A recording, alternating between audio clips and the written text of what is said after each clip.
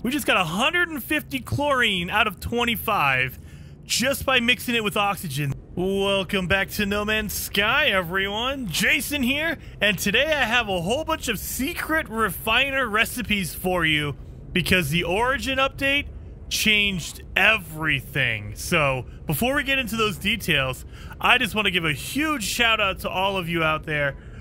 97,000 subscribers. That is ridiculous. You guys, it is awesome. You guys are insane. But we're trying to get to 100,000 subscribers. So, if you haven't joined the channel or you haven't subscribed to the channel and you love No Man's Sky, I don't know why, look down there below the video, that red subscribe button, click that thing for me. We're trying to get to 100,000, and I promise you, if you love No Man's Sky, you're going to love my video. So, let's just jump into these details for the uh, refiner. Now, with the Origins update, they changed a lot. They removed some items. They gave us some more items. Like, you can see, we have some recipes for items that we didn't have before. Quantum computer, magnetic resonator, I mean, solar mirror. We didn't have any of these things before.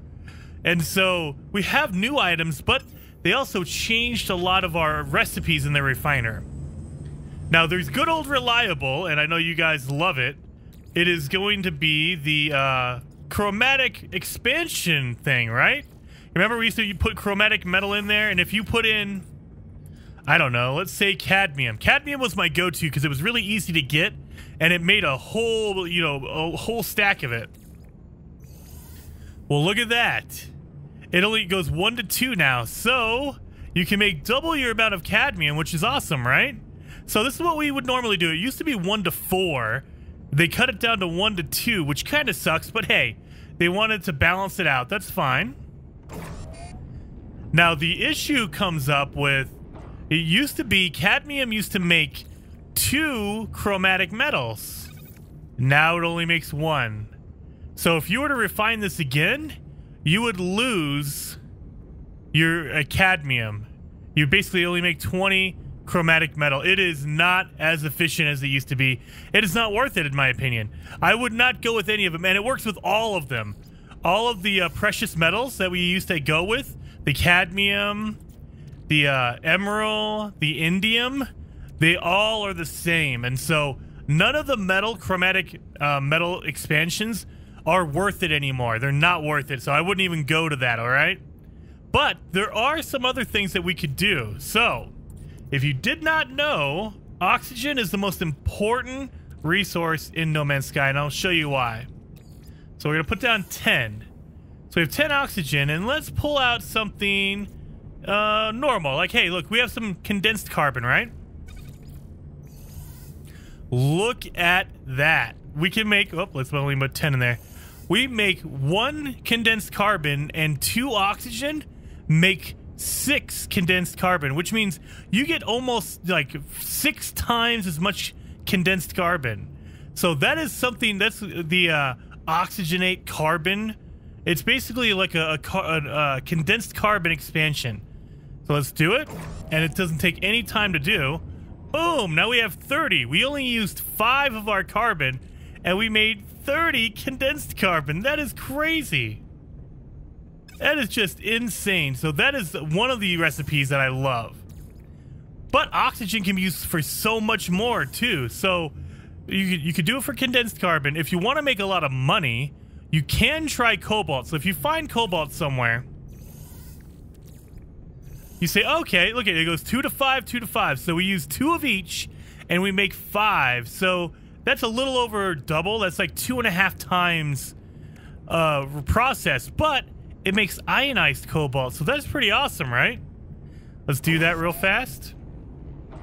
So out of 10, we made 25 ionized cobalt. That's two and a half times, right?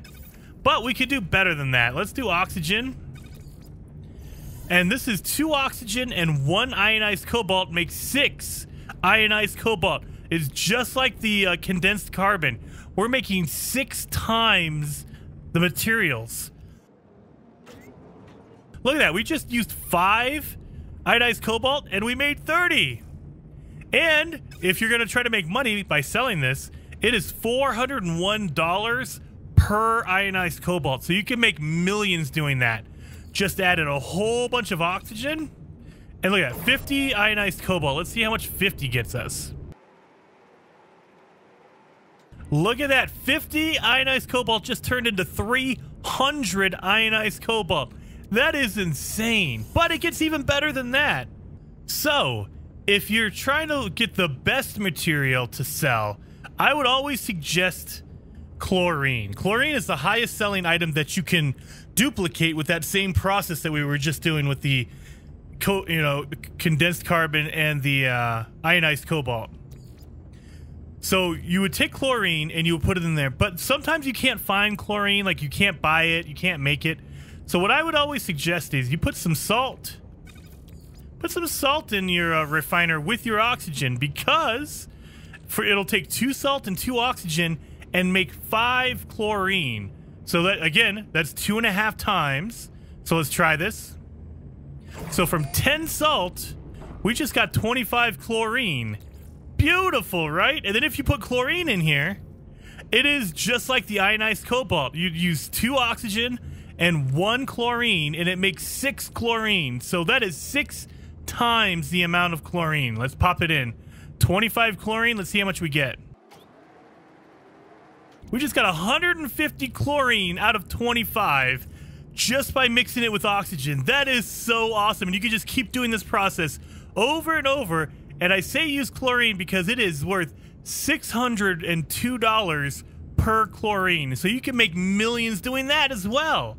But it gets better than that because oxygen is the best resource in the game, period. It is the best material you can ever find. Let's put that away. Now, let's say, hey, look, you're looking for a special material.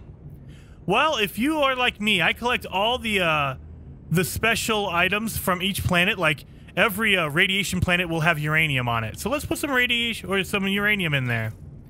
If you put that in there, one oxygen and two uranium will give you one gamma root. You don't even have to farm it. Look at that. You don't even need the gloves to get it. You can just do that. Boom. And I just got five gamma root. So holy cow. Easy peasy. And that works for everything. If you put the hot uh, material, so that would be the um, phosphorus. You put phosphorus and oxygen together, that'll give you solanium. Look at that. Solanium. Oh, just kicked me out of there. Why? Okay. It's just got solanium from that. Everything will work with oxygen. So my huge tip to you is put something in there with oxygen. Now, not everything's going to work. Like if you put the gamma root in with the oxygen, it's not going to work. But if you put the uh, chlorine or the cobalt, you know, chromatic metal doesn't work either. You see that? Like, boom, you just drop it in there. But it is totally worth it just to see what happens. There are so many different recipes, like dioxite. What are you going to get? Frost crystals. Boom, right there. So much. It is so crazy.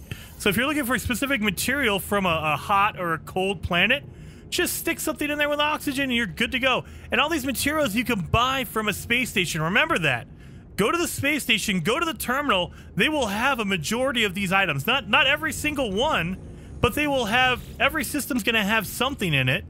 And so if you didn't find what you want, go to another system or talk to one of the pilots that lands on the space station. They will have other materials as well.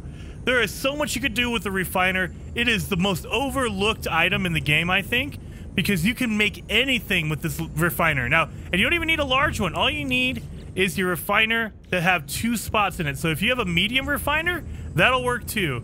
Your personal and your portable refiner, they're really limited because they only have one slot, as you can see. But I mean, like if you need some uh, chlorine, put your salt in there. Salt just by itself will turn into chlorine. It takes two salt to make one chlorine. You could totally do that.